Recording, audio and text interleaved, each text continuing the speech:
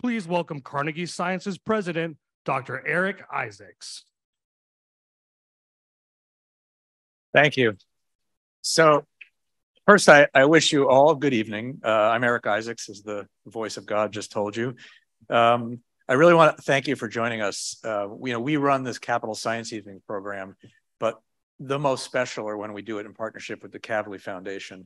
And tonight, we're I, I think tonight you're for a real treat with Frank Sesno introducing Conny Aerts about some of the most interesting phenomena in uh, in stars. Um, so we're really honored to welcome Kavli Foundation, who has representation here, to the uh, Norwegian Embassy in the U.S., who help organize these, as well as um, the Norwegian Academy of Science and Letters. That's the group that helps organize the prize, the Kavli Prize, which you'll hear a little bit more about, but it's extremely important prize, very prestigious, and and Conny's a very deserving uh, recipient of it. So I'm going to introduce in a few minutes. I will introduce Frank and Conny, um, but before we do that, um, because the, the the president of the Kavli Foundation, Cynthia Friend, couldn't be here for other reasons, she's going to have a little bit of, so we have a video for her to say a few words. And then uh, also Lisa Øvreås, who's um, the president of the Norwegian Academy of Science and Letters, who couldn't be here. So before we begin, we're going to show a short video from each of them. Good evening. I'm Cynthia Friend, president of the Kavli Foundation. I joined the foundation in 2021 after a long career at Harvard University in academic research, teaching, and also leadership. It's really a pleasure to now be part of the Kavli Foundation, which was founded in 2000 by our founder, Fred Kavli, a Norwegian born entrepreneur and businessman. His purpose was to support science for the benefit of humanity, which is truly a lofty goal and vision.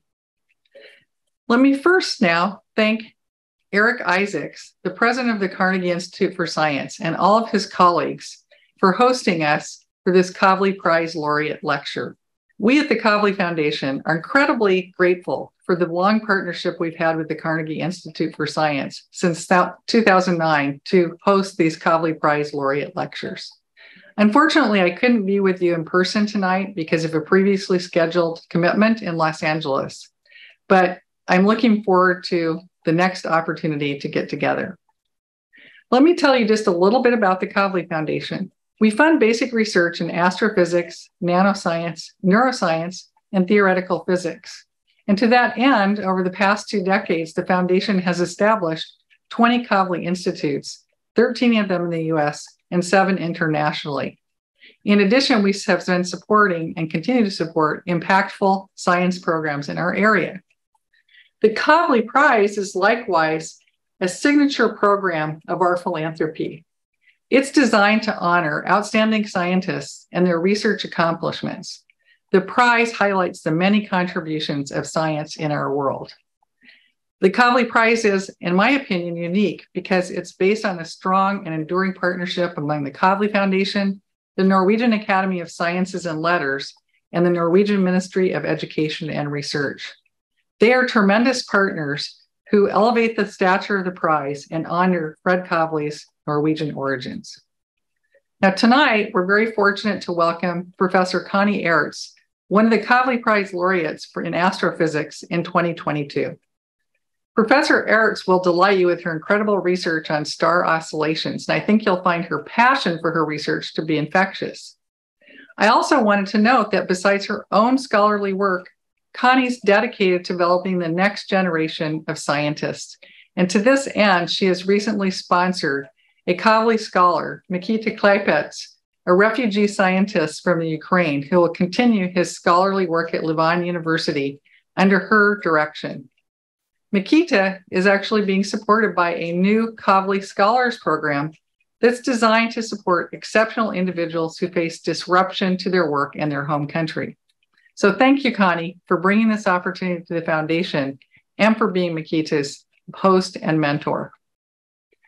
Finally, I'd like to thank Frank Sesno, who's the Director of Strategic Initiatives at Georgetown University, for his extraordinary skills in facilitating these conversations.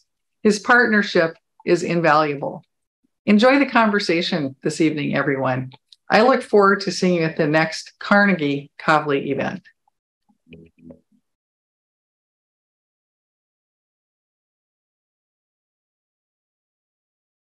My name is Lisa Øvreås and I'm the president of the Norwegian Academy of Science and Letters.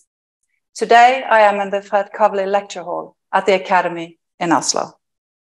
It is a great honor for our Academy to team up with the Kavli Foundation, Carnegie Institution for Science, and the Norwegian Embassy for this event where Kavli Prize laureate Conny Aerts will give a lecture on starquakes exoplanets, and extraterrestrial life. Professor Aerts received the Kavli Prize in 2022, together with Jørgen Christensen Dalsgaard and Roger Ulrich for, and I quote the Kavli Prize Committee in Astrophysics, for their pioneering work and leadership in the development of helioseismology and asteroseismology. Their research has laid the foundation of solar and stellar structure theory and revolutionized our understanding of the interior of the stars. When the Kavli Prize is awarded in Oslo, we are so privileged that the King Harald V awards the Kavli Prize to the laureates. For each of the three Kavli Prizes, astrophysics, nanoscience, and neuroscience, a prize committee is appointed by our academy. Members of the committees are world leading scientists within their fields. The committee members are chosen by the Royal Society in London, the French Academy of Sciences, the Max Planck Society, the National Academy of Sciences in the US, and the Chinese Academy of Sciences. The high reputation of the Kavli Prize is due to the solid work by the prize committees. Aerts is not only an outstanding scientist, she has also guided numerous PhD students and postdocs from more than 15 nationalities, creating a unique team spirit and personal touch in her supervision. She says that she's proud of her former team members becoming fabulous STEM teachers, inspiring and educating the next generation on a daily basis. I concur with Conny Aerts when she says that it is extremely awarding that the Kavli Prize acknowledges such a human approach in academia. I could not agree more. Warm greetings from Oslo.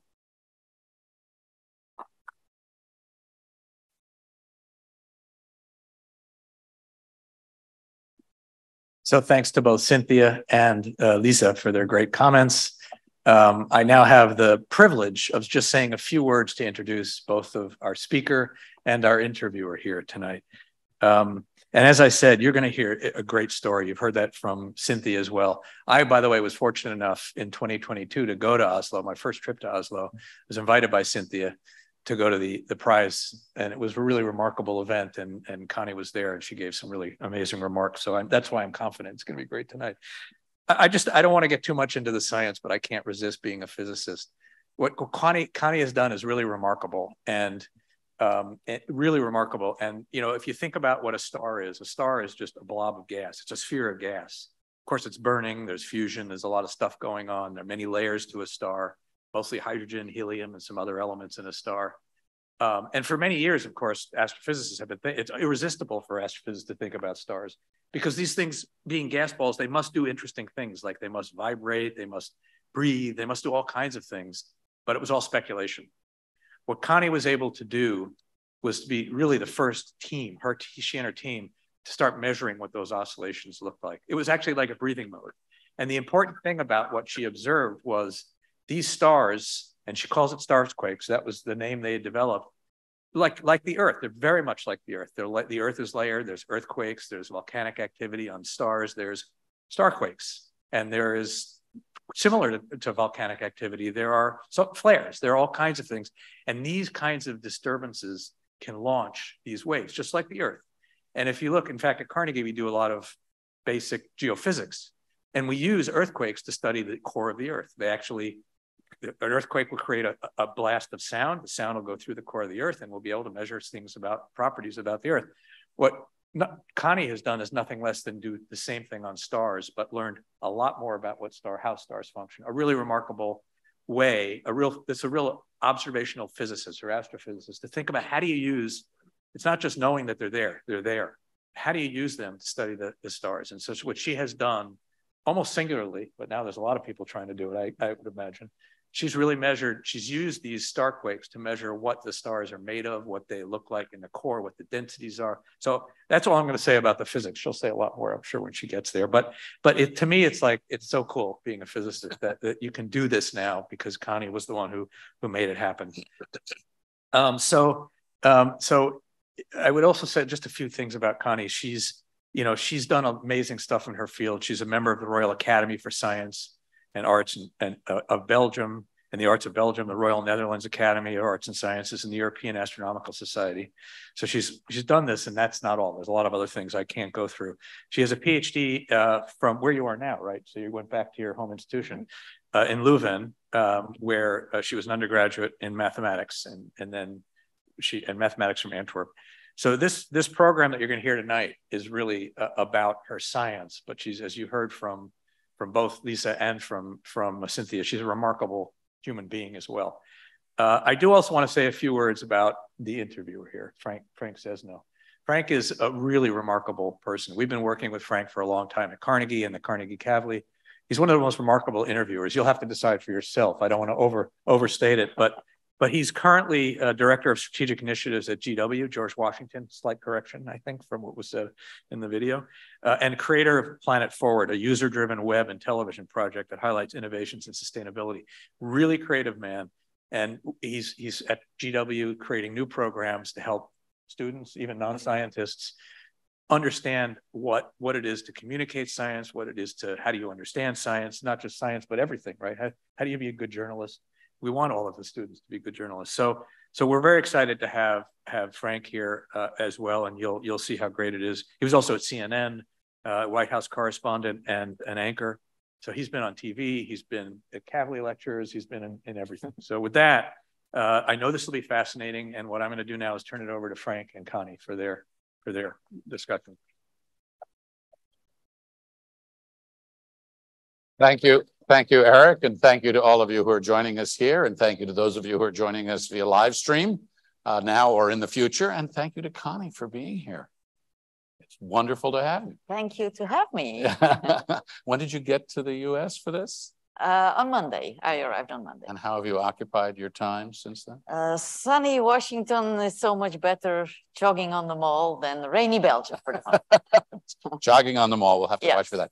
Um, so we're going to do a few things this evening, and some of them are a little bit different. So if you haven't already uh, gone on and gotten on Pigeonhole, where we're going to be doing these polls and other things, please do that, and we'll have some further instructions for you in a minute.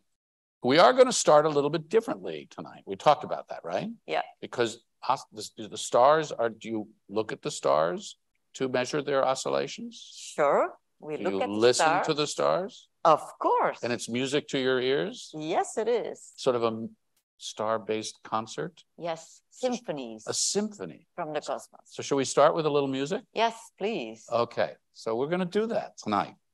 Um, and this is going to be your first poll question. So I'm going to put this up as we do this. You're going to hear um, two instruments now. Instrument number one, instrument number two, and we're going to ask you, which do you think is physically larger? So let's start with instrument number one. Instrument number two. Would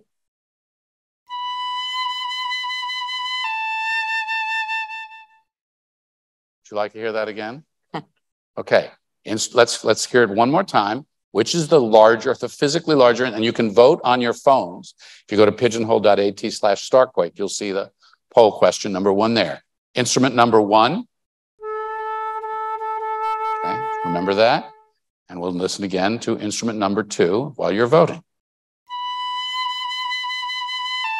Okay, while I wait for results here, Conny, why did we do that?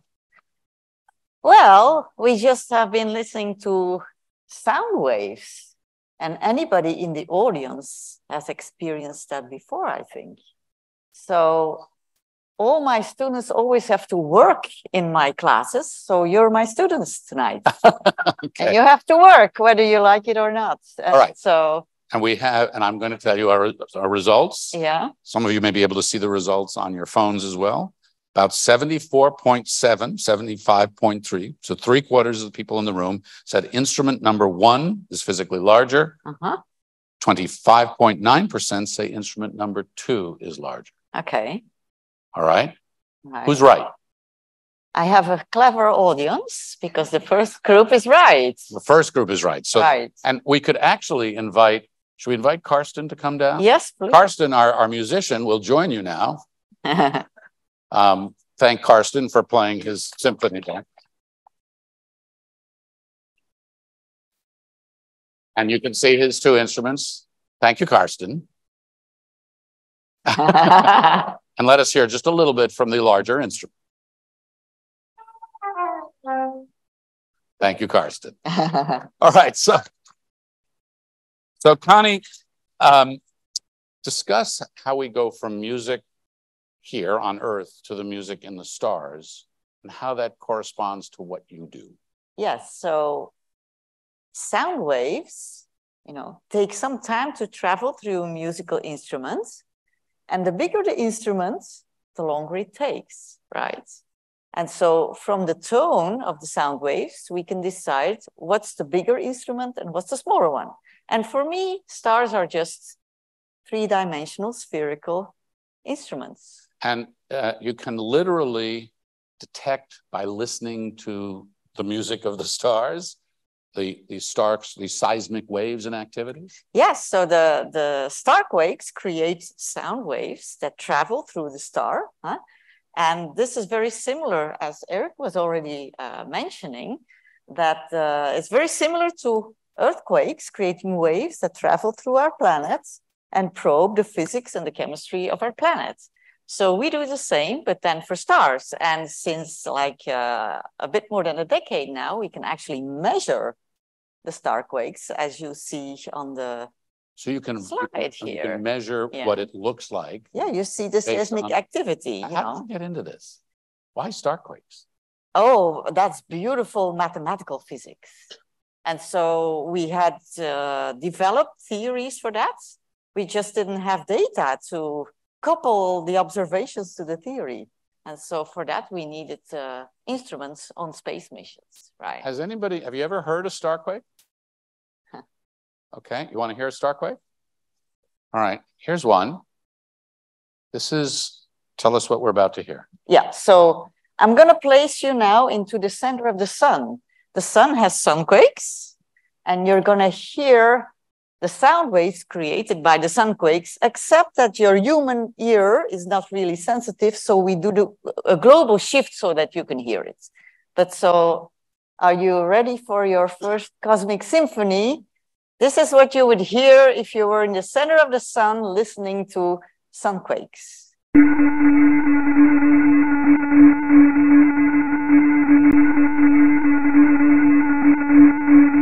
You like that? As well. You like that? so, what are we hearing? So we're hearing the symphony of the sun, really. So the sun has, uh, you know, sunquakes, yeah, making the gas of the sun going up and down with a periodicity typically of five minutes. So, you know, the sun has a certain size. We know it perfectly huh? because we can measure it. And so the sound waves have a certain frequency, a certain tone right? So let's pretend that the sun is one of these flutes that we just heard, you know, and then we can wonder like, okay, the sun will grow up, will get old, it will be about to die, no worries, not tomorrow, in uh, a long We're- time we're from okay now. one, yeah. But what will happen is that as stars grow older, you know, they they become much bigger, you know, As stars grow older, they become bigger. So, we have the red giant. they Another- really big, Okay. really, really, really big. And how big is this? 10 to 100 times the size of the sun right now. And here's what this sounds like.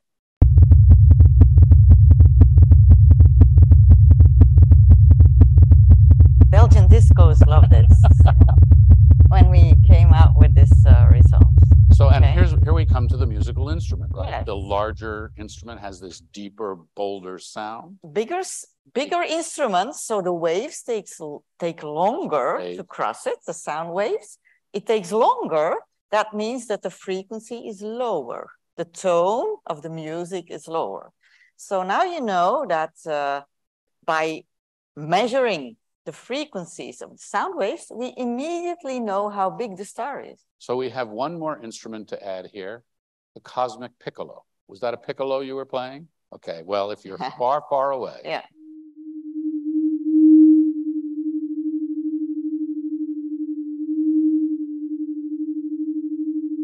What are we hearing there? This is a small star that actually has somehow lost its envelope and has become smaller, but it is full of helium, while the sun is dominantly uh, having hydrogen and helium and a little bit more of uh, other material.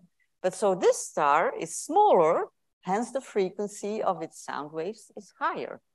And Right. what does this tell us? So this this is what you map, and you can you can bring tremendous knowledge about the star, Exactly. its age, its size, Yes. and how it relates to Yeah.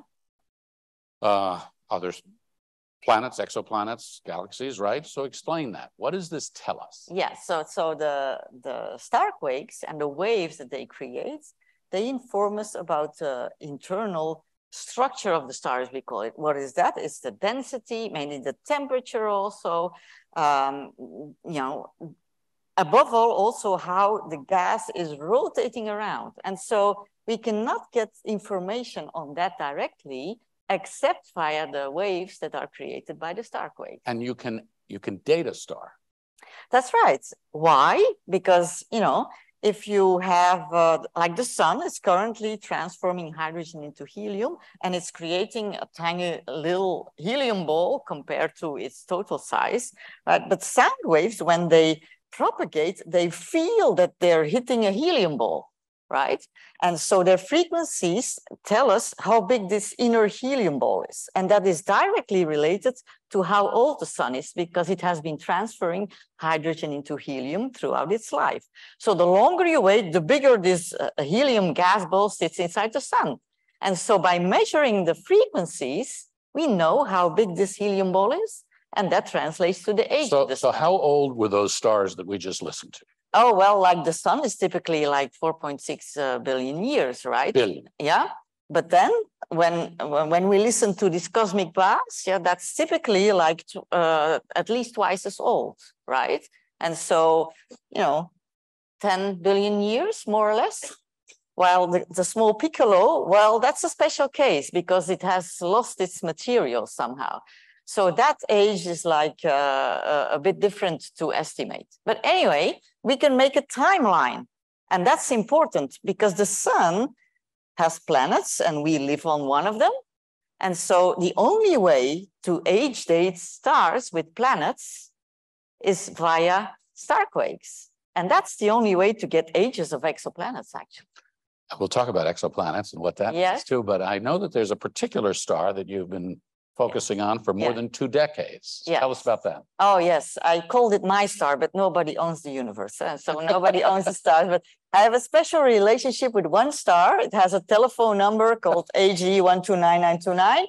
Why is it special? Because it special? I was the, uh, well, it gave me star quakes. And for the first time, it allowed me to derive the way the gas rotates close to its helium core. And that was the first star other than the sun for which we could derive this. Is that your aha? mo- I always love asking Yeah. scientists, what's your aha moment? Yeah, that was the aha moment. I was at home in the Christmas break with my daughter. It's actually literally 20 years ago now. It was 2003. Uh, and what happened? And so I, I was analyzing the data and we had been trying that star for 20 years, you know. And so we just couldn't understand it. And then all of a sudden I saw the frequencies of its six quakes. And I knew, oh, this is going to tell me how the gas is re- literally rotating around. And so that was my aha moment. Yeah. So um, these these rotations that you can map, Mhm. right? That help you date the stars. Yeah. It helps you size the star, all this kind of thing, right? Mhm. Um, what is the relevance of that rotate? I mean, what do you study? Yeah, why is it so important Right. to to know the in, inner rotation Right. of a star, right? Because when you um, when you rotate a fluid or a gas, then you mix the chemical elements. And that brings extra fuel to the heart of the star where nuclear fusion is going on. So the more you mix, the longer the star can live. I mean, that's really the life of the star. Yeah, that's the lifetime of the star. And that, and it's a rote you're studying among other things, the rotations, right? Exactly. So let's do a poll here. Let's, this is kind of fun that we want to ask you. If I can Yeah. get this to advance. There we go. And this will be on your phones if you go to Pigeonhole, right? You know, the rotation period of the Earth is a day, right? Well, what about the ro- rotation period of our sun? Is it an hour, a day, about a month, or about a year? So you put that in. I get to go to my iPad here because I see the results Mhm. as people are doing this. And I should say, by the way, that we ask questions on the way in. And I have to check that because we ask people what their relationship to science is. And I want to see what those results are. Okay, so if I go back here, rotation of the earth is a one day. What about the rotation? So about right now, we're at about 16% of you say about an hour. About 9% of you say about a day. About 43.2% of you say about a month. And 32 say about a year. So 31 say a year, 40, 44 say a month, 7.6 say a day, 16% an hour. And the answer is isn't it amazing? It's our host star, and we have distributed voices, right? So it's about a month, right? About a month. So uh, good, about 40, oh, the votes are changing as I speak. That's, that's an amazing thing. We don't need election reform here. Yeah. Uh, so what does that tell you and us about our sun? Yeah. So our sun takes about one month to revolve around its rotation axis. Now, for us astrophysicists, that's a slowly rotating star. So it means that the material inside the sun isn't mixing very efficiently, right? You have some stars that rotate around in not in a month, but really in a day, right? These big, bigger stars rotate faster and they mix much more fiercely. So that's important to, again to age date the star. And so for the sun, we actually know the age of the sun. We know that from other means completely independently, like meteorites, right?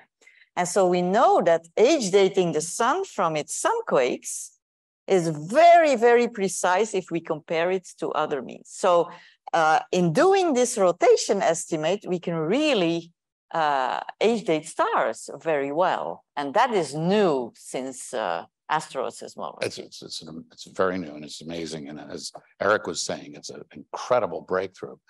You like to say stars rule. yes, I think clearly they do. Yes. And it's worth observing and, and Yeah. kind of reinforcing here that through your study in the starquakes, this allows us to date the stars to um, help then determine the age of exoplanets and these Mm-hmm. relationships around it. So talk a little bit about that. Yeah, so here you see like stars get born in, in uh, interstellar uh, star forming nebula. And then, depending on the amount of matter that they get at birth, they can either live a quiet life like our sun, like, luckily for us, huh? it's very quiet, a little boring star, uh, one could say, right? Good.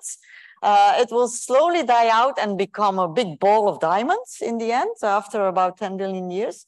But you also have stars that are born with way more, more gas. And so these go to the other side of this diagram. They, leave, they, they lead a, uh, a violent life, a very fast life, and they will explode. And what does that mean? Uh, you say a violent, a fast life. What's what's happening? And Yeah. you can see this when you measure it, right? Yeah, they, they have winds and they, they lose matter, they expel it uh, during their whole life, basically, and then they explode.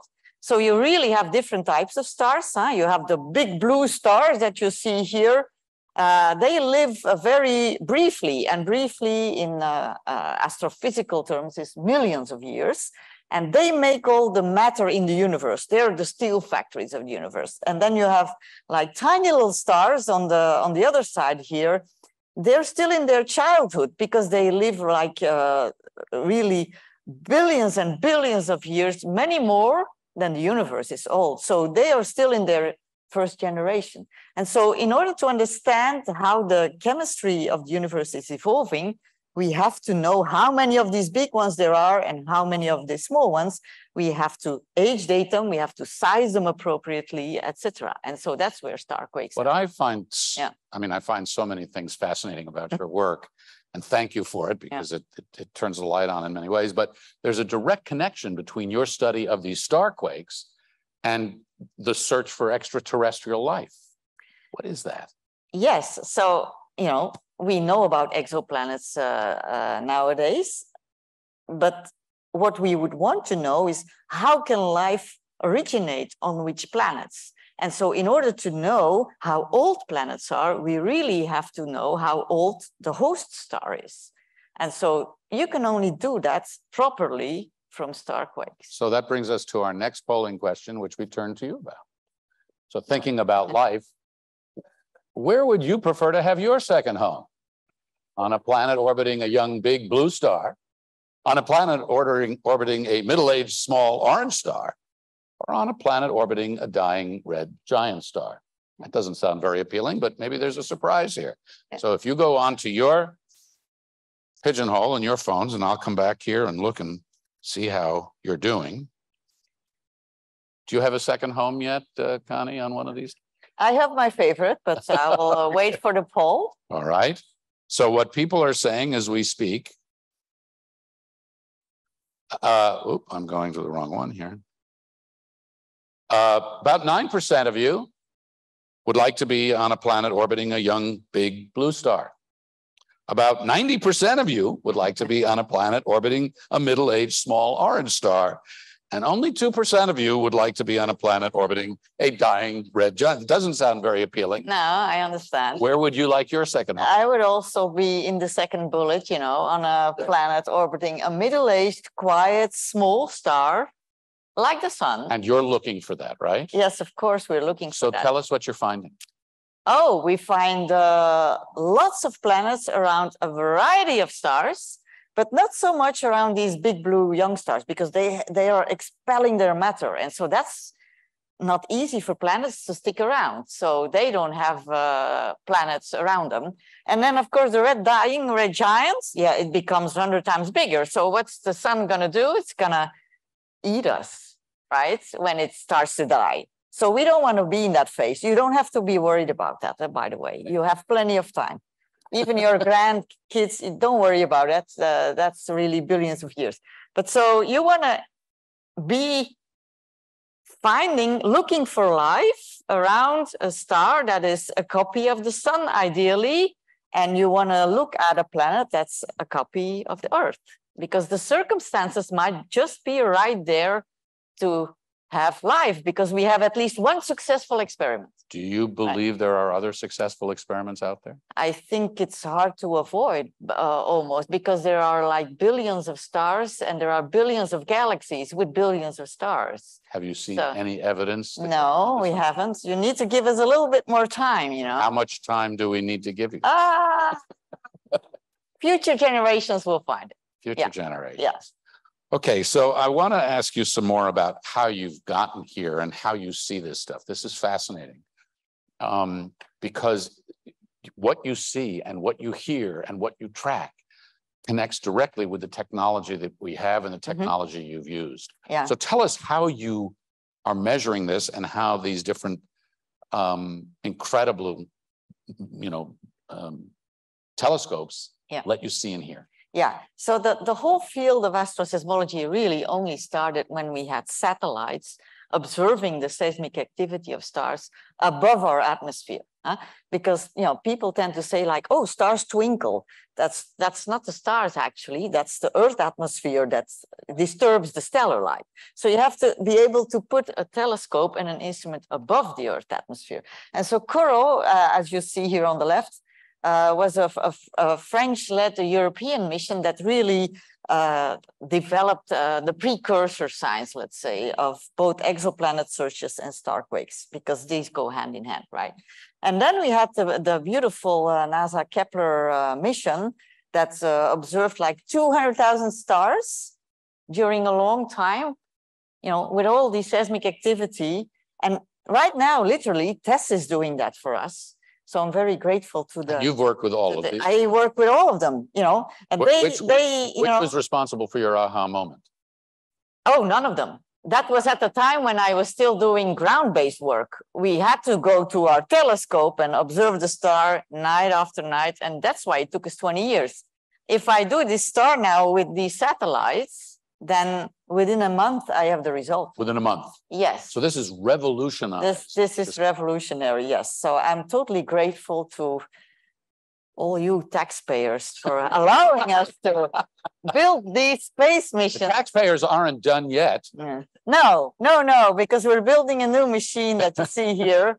Uh, that's the Plato mission. So the European Space Agency is currently building uh, a platform that hosts 26 telescopes to find, you know, copies of the Earth revolving around copies of the Sun. And so we are in the middle of of uh, building it literally, and uh, we really look forward to this. So here you see me in the clean room at uh, ESA in uh, Noordwijk in the Netherlands.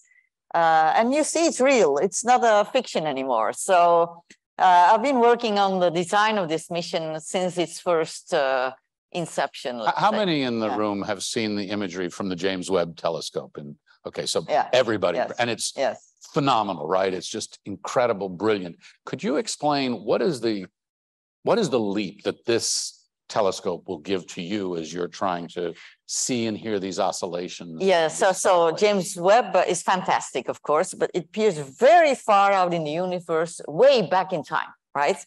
Um, I don't want to use up telescope time from from Webb. You know why? I need a long time series. I need years of monitoring, and so you don't want to use Webb for that. Let that to the people who do the far cosmos.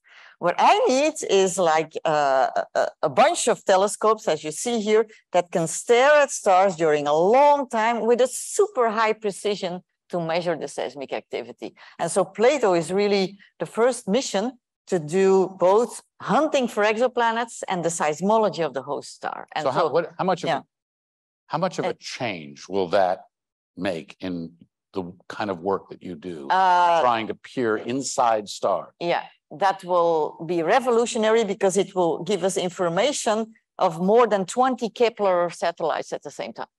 So it's two orders of magnitude. So, but what does that mean? compare. Does that just, does that accelerate what you're doing now dramatically? Or does it allow you to see and hear Mhm. with much more detail? And if so, what would we get from? it? Yeah, so so we haven't really found copies of the Earth in long orbits, like it takes us a year, right, to revolve the sun. And so we really lack a good uh, sample of Earth-like planets in the habitable zone of their host star, because we are obviously in the habitable zone of the sun. Um, and so most of the planets that we have, we have thousands of them, are not really in that perfect circumstance where life could originate. So that's what really Plato is made for. What, what do you want to find with this and in your career? What, We want to find uh, we want to find extraterrestrial life, right?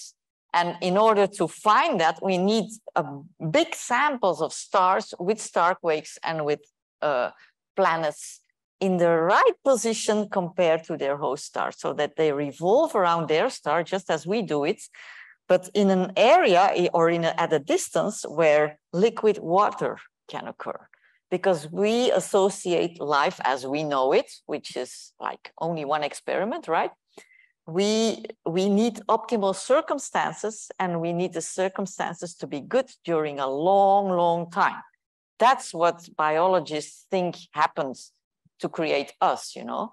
And so, right? yeah. so Hundreds we, of millions of years. uh, hundreds of millions of years. So the, the star cannot only live a few million years because it will not be long enough. And the star can also not be too big because then it's it's too it eats its planets. And then it's not a good circle, not a nice second home. Do you yeah. watch, do you watch like science fiction and Well, Star Trek and stuff. yeah, yeah, I can watch it, but I, I prefer to watch the real, the reality of I was story. gonna say, I mean, I don't know how you watch that after you know this. I don't So need I know- science fiction. I know that you're incredibly proud of your science, but I also know that you're incredibly proud of the young people, Yeah, the students, the PhDs, the Yes. postdocs yes. that you work with. Would you talk a little bit about that? Because that is a very inspiring thing to hear. Yes, so I'm a very proud mother, as you can see on this uh, photo. But you have a moniker. These are your two children on the right. Yes. I- I And I'm going to let yeah. you to explain what your moniker is. Your nickname is Astro Mama. Astro Mama. And we have a round of applause for Astro Mom. Yeah. But the reason I think this is so incredible is what what you try to what what you're doing as an Astro Mama and with these young people Yeah. is you're especially nurturing of young women scientists Yes, and young people broadly. sure. Are your children scientists? Well, they're not astrophysicists. They're not STEM scientists. My daughter is a children's psychologist, right? And my son is a, a a scout of the Belgian National uh, Soccer League. So very different uh, backgrounds Why than their parents. why has Yeah. as- as being an Astro Mama and using that term and talking to young people about that, why does that matter to you? Well, it matters because I we we really lack young women in in STEM fields, and so I can in- hope to inspire them by giving the example. Like, okay, you can be a mama and an astrophysicist at the same time. I'm not saying it's easy, but it's very well doable if you're passionate about what you're doing. And how do so- you tell these young women and young people that they can manage their intense scholarship and science and research and their intense demands from family partners and others? It's very simple. Happy people work better. So I make sure that my team is happy. And that's very important for me. I want to see the smiles on their faces on a daily basis and I want to inspire them. And that's also why I do a lot of like uh, outreach, you know, bring science to the people. For me, that's a very important aspect. Because it's exciting to you. Yes, it excites me, but uh, it inspires the next generations and they are the innovators. They are the innovator. What do you think? What do you think the biggest challenge is to this generation of scientists as you see it? It's a complicated world. Yeah it's a complicated world but the universe is so beautiful. And so they're uh, they're really uh, able to learn and they are very strong computationally much stronger than you know my generation was. And what i like a lot and you see that a little bit uh, on the other on the photo is the team spirit that it brings. So for me uh, my students are really uh, also I'm I'm doing my job for the stars and for my passion, but also to to to educate uh, youngsters and make them feel welcome, but also inspire them to do teamwork because for me that's really important. And and frankly, this this prize thing is fantastic, but it's a team prize. It's we were celebrating uh, at that uh, photo uh, as a team and that's uh, very important for me because uh, team uh, teams that are you know getting along they work much better and so that's why i keep saying like happy people really work better it's it's not a it's not just some kind of statement it's reality So it is. When you think about these teams, when you think about these young people, and then you think about the field, yeah Starquakes, what you're Mhm. studying, Plato telescope that's coming. Where is the field going? What do you tell them that this future is likely to hold for them in the sciences? in in the sciences, well um, we're gonna revolutionize our knowledge of our galaxy where we live in right?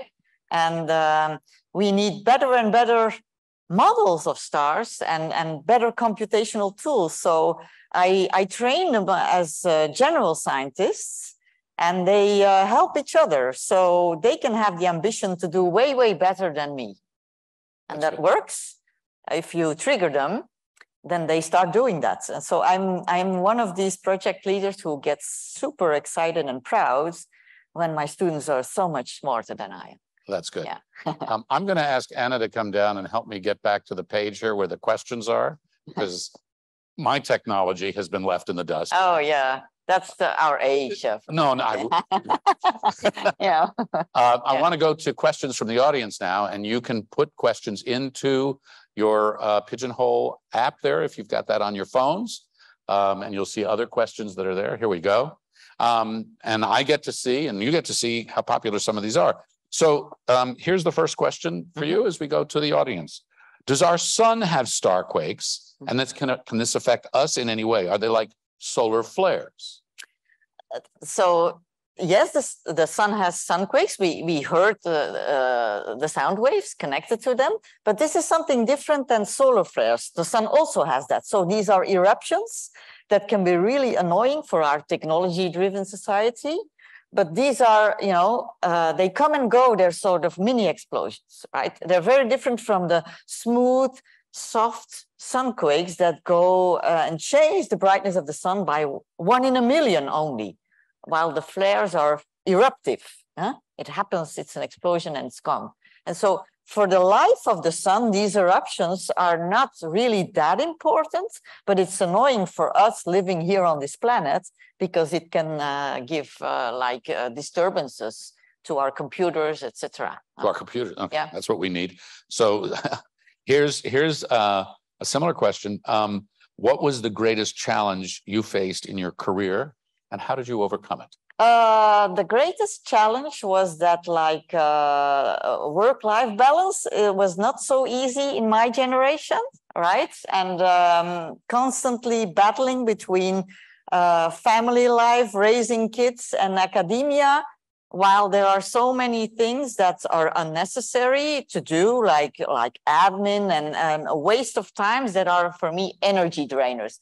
I'm hoping to battle that for the next generations. And that's why I work a lot with young women also to show them that they have to speak up and get rid of uh, time that's unnecessary and uh, focus on their passion. And then it is much easier. What do you tell them to get rid of?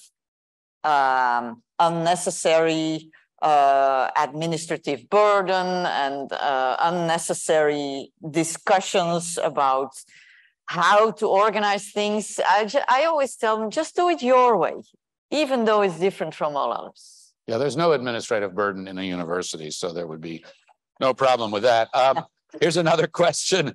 Do starquakes affect the planets that surround them? Are they safe?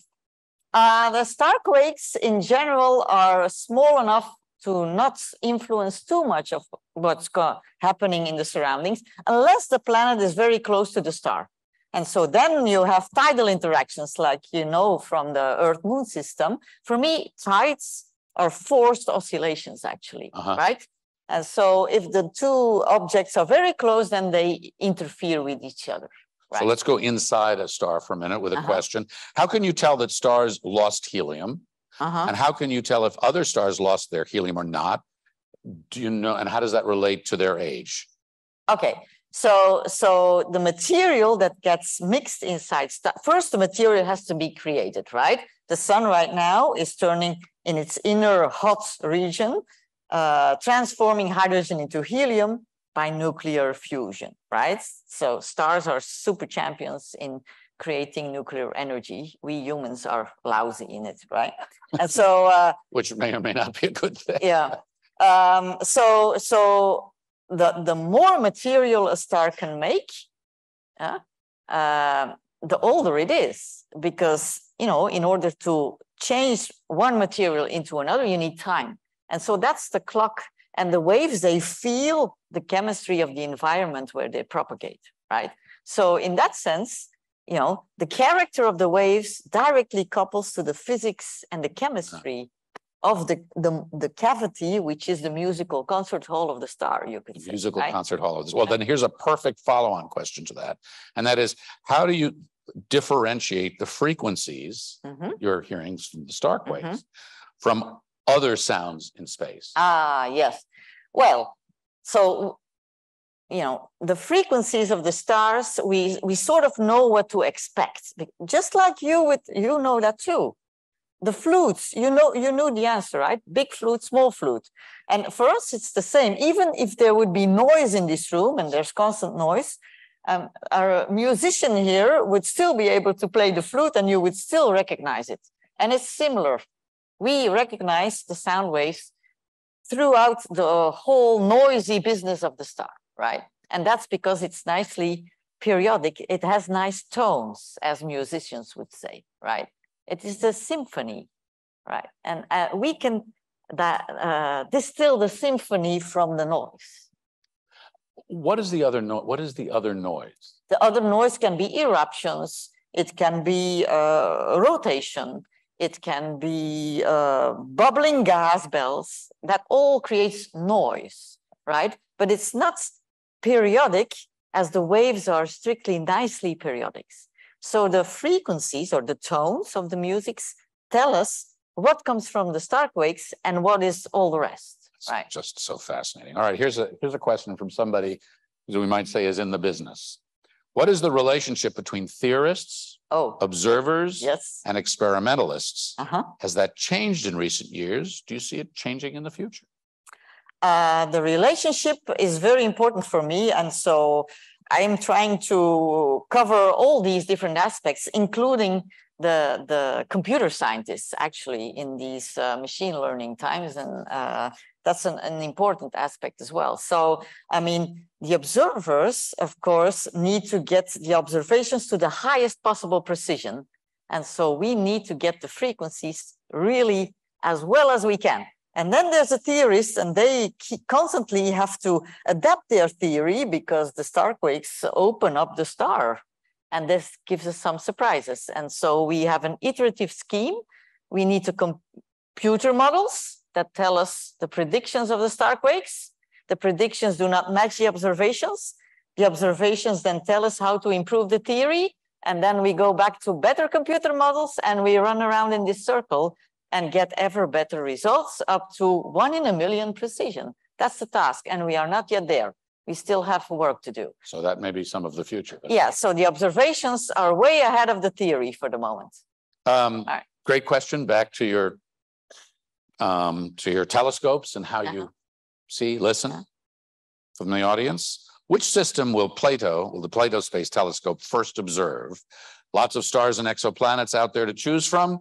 How will you prioritize the field? Oh, so Plato is gonna be 20 Kepler fields, so it's an immense field of view, and it's just gonna gonna download the uh, the, the brightness of all these stars in uh, uh, in the best possible way. So I mean, we're gonna observe like literally millions of stars during two years at a very high. But if you're observing millions Yeah. of stars, Yeah. how do you know which one to listen to? Oh, but well, there uh, artificial intelligence Oh. comes in and the computers because you know we we're not going to look at the light curves one by one. That would be So that's, uh, so that's know, great. So that's- how is AI Yeah. shaping? I mean, it's Yeah. has it already changed your, Yes. the way you work? absolutely How? yes, yes, because it tells us. Uh, you know, I get millions of stars, but I want stars that have star quakes.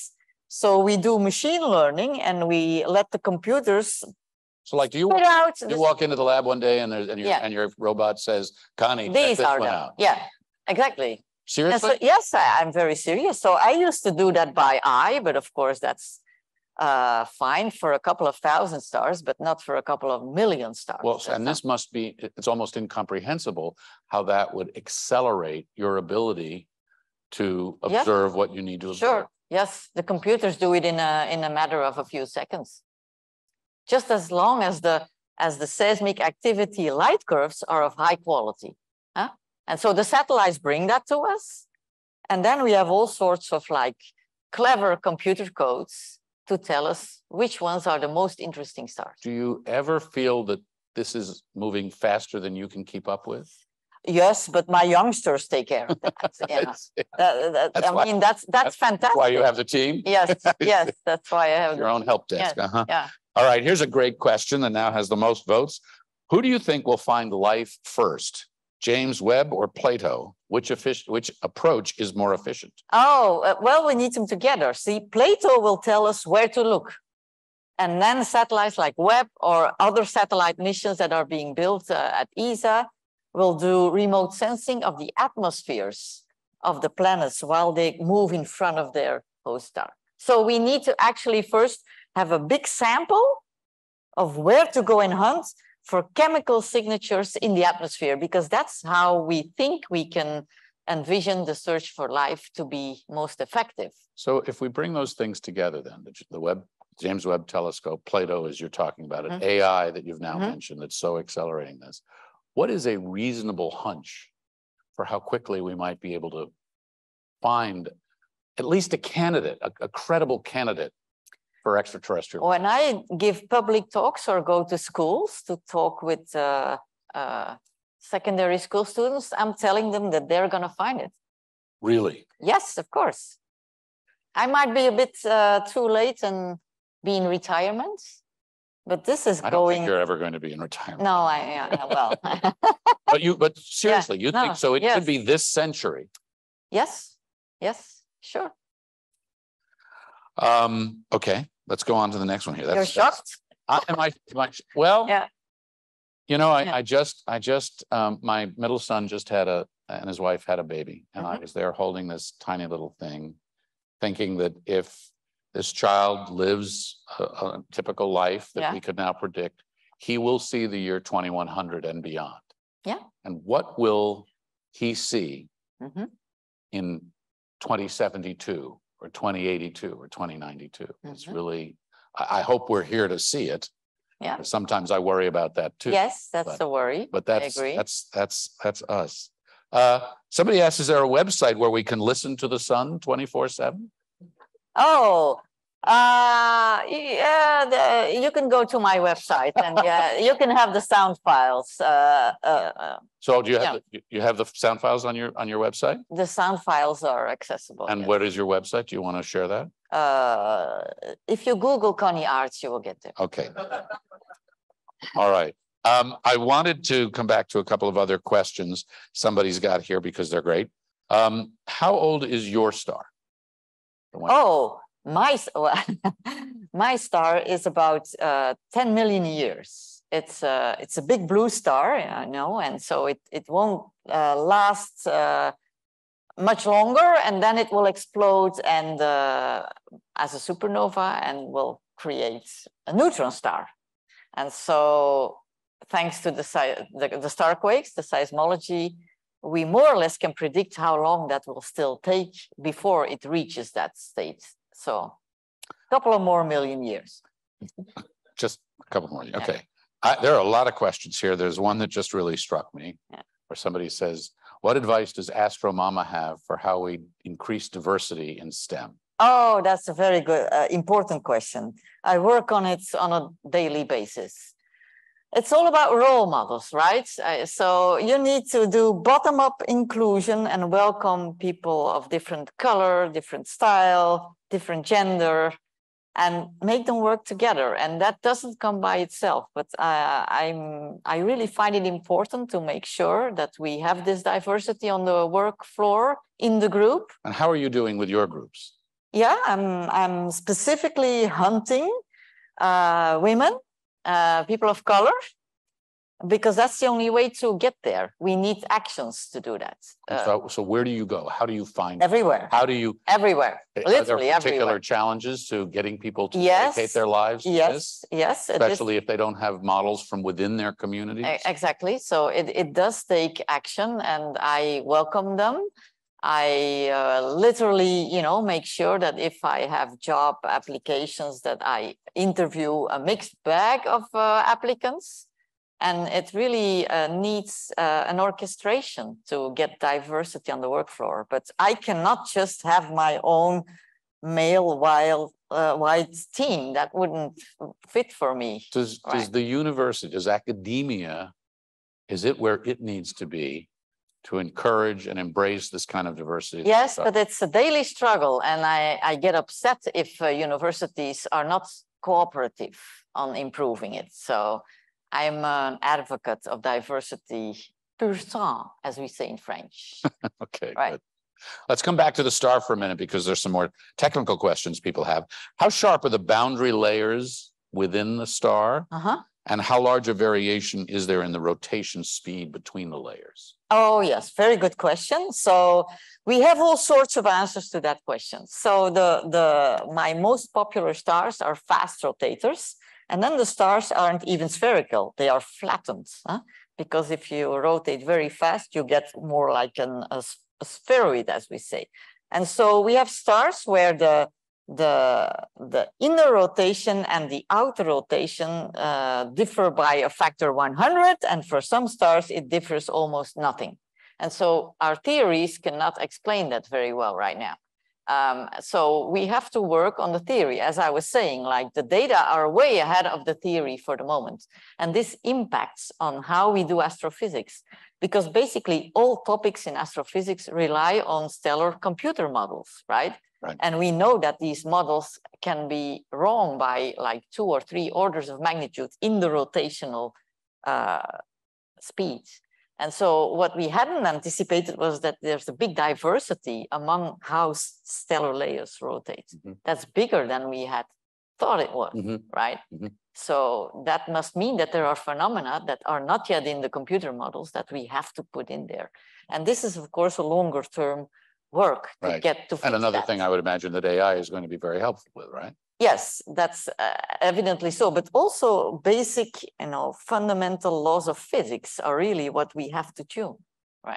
Um, we just have a few minutes left. Here's one last one that I'd like to bring from the audience and then a couple of closing thoughts from you, uh, Conny.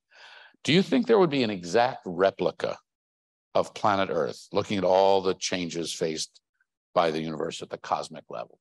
Yeah, well, I think it's difficult to avoid. Again, there are billions of uh, planets in our galaxy alone, and there are billions of galaxies. So, you know, there's only so much diversity you can have, I think. But it's a matter of stability of like, no, we are on a planet around a quiet star. We have a moon that protected us from, you know, all sorts of garbage that would fall on our planet, etc. And we have a stable rotation axis of our planet. So there are many parameters in the equation, but I think it's almost unavoidable to have copies sitting out there and waiting to be discovered. Yeah. That- Well, that would be something for my grandson to look Yeah. forward to. Yes. Maybe, Yes. maybe. Yes. So before we before we wrap up, this has been just totally fascinating. You know, you've you've you've taken these star quakes and you've brought them to us and made them relevant and tied mm-hmm. them into our to our universe and to the search for extraterrestrial life and all the rest. What are you working on now? What are your immediate projects? What are you most focused on? Yeah. And what's next? Uh, my pet stars are really very fast rotators. And so stars that are no longer spheres, but flattened. And I just have the privilege to have a really big grant from the European Research Council to spend the next six years trying to figure out how they work. And now that seems easy, but it's not because if you, you know, we treat stars as spheres, but rapid rotators are not spheres. And so then you'll have to go from something that is symmetric, a ball, to something that is flattened. And the mathematics of that is just horrendously more difficult. But that's what I'm going to be what's going on inside that star? Yeah, and so uh, we're going to figure it out. We have five years and 10 million euros to figure it out. And how many and how many on your team are contributing to that? Uh, we uh, it's four teams. Uh, Four teams. One in the U.S., two in France, and then my own team in Leuven. And we're going to work with about 20 people to solve that problem, and then give give all these better models to astrophysicists. Because as I was saying, anybody in astrophysics uses stellar models, and our models assume stars to be spheres. And the ra- rapid rotating stars are not spheres. We can see that even in images. So we have to fix this. We have to bring a stable foundation to what I call the house of astrophysics. And so that's the project. That's what I'm going to be having fun with. And will Plato be a driver of that? Uh, it's going to help because it also has a, an open science uh, uh, program. It's not only going to hunt for copies of the sun and copies of the earth, but also there's 8% of the Plato time open to the taxpayers. Please apply for Plato time, anybody, uh, including uh, non, non-ESA member states. Yeah. I, I, I have an opportunity every year to work with uh, AAAS and AAU on Uh-huh. what's called the Golden Goose Awards. Some of you may have heard of the Golden Goose Awards. This is federally funded research that leads to curiosity-driven, serendipitous discovery yeah. that can translate immeasurably to humanity and beyond. What do you think should be the priorities and the and the and the areas that most you know get the funding at this stage? Oh, get the funding? The most inspiring applicants. really. And I don't want to pinpoint a topic, you know, of course, there are my pet topics. but what I find really important is that uh, inspirational applicants can write beautiful proposals that are convincing to a committee. And that's very important for me. So in, that brings me back to science communication, because also within our field, some are much better than others to, to convey the message of their, of their passion, what they want to do. And so uh, let's uh, award that. I want to close, uh, Conny, by asking you something that um, Cynthia Friend mentioned early on. This Mhm. young scientist from Ukraine. Yes. You have taken under your wing and sponsored and Uh-huh. supported. Yeah. What is his story? Why have you done this? What um, Well, he's what can we learn from? him? Yeah, so so Mikita is uh, is an Ukrainian who came and studied one year in Leuven, and while he was studying, the war broke out, and all of a sudden his plan for life went down the drain. You know, this is tough, and so he was very inspirational because he was following his passion, and all of a sudden a war came in between. So I found it very important as my personal humanitarian action to at least for one Ukrainian young, brilliant guy make the difference in his life. Well, clearly, so uh, what's he doing? he's now doing a pre-doctoral study in artificial intelligence to be applied to Plato and test data. Wow. Yeah. Wow. Thank you, Kavli Foundation, for that. Thank you Really. For making Yeah. that incredible humanitarian gesture, investment and, and piece of science. Um, this has been an incredible conversation. You, you are a star. Um, and I'm sure you've heard that before, but, uh, but we Uh, really appreciate it. And thank you for advancing humanity and our understanding of the universe. Yeah. It's amazing. Thank you for having me. Eric, I'll turn it over to you. So, so, so let me start by thanking our audience. This was terrific questions, Mhm. really engaged. We had almost two hundred here and more than three hundred on the online tonight. So thank you all. This is one of our biggest, for, for good reason, one of our biggest sessions that we've had. Um, I also want to thank, um, I, I want to, I want to thank Conny for a couple things. One is your commitment to the science. I mean, it's, it's wonderful how committed you are to really important science. But also thank you for your commitment to early career scientists. Because I think, you know, it- you know, I've always said, I was, I was up on the hill today and I always talk about astronomy as the gateway to more science. So I really appreciate that. Your commitment to diversity and is just, it's so important. And astronomy in particular, I think could use the help. Uh, chemistry and biology, maybe not as much, but really, really in all fields. But astronomy is really important. So thank you for that. Really appreciate what you're doing. And Frank for just a wonderful, you know, wonderful interview. You brought out Conny's best side. I'm sure it's always the best side, but but you're really able to bring out the science, but also who Conny Aerts is. So thank you both for that. I want to say one, one more thing, which is when you say get the money, that was something that uh, today I spent the whole day on the Hill Mhm. lobby, not lobbying, advocating for a giant telescope, one of the giant Magellan telescopes, which is the next generation of Earth-based telescopes. So I can appreciate the comment, get the money, and I can appreciate all the beautiful astronomy that you're doing. I will use it in some of my stories. So again, thank you all. Thank Kavli again. Thank the Norwegian Embassy. Thank the Norwegian, uh, the Norwegian Academy of Science and Letters for their support. I will ask you to keep your eye on, on mail from us because, uh, in May twenty twenty-four, we're going to have our next Kavli Joint Kavli Carnegie Lecture. Um, it's going to be a hard act to follow. That's all I can say. Yeah. Thank you all. Bye.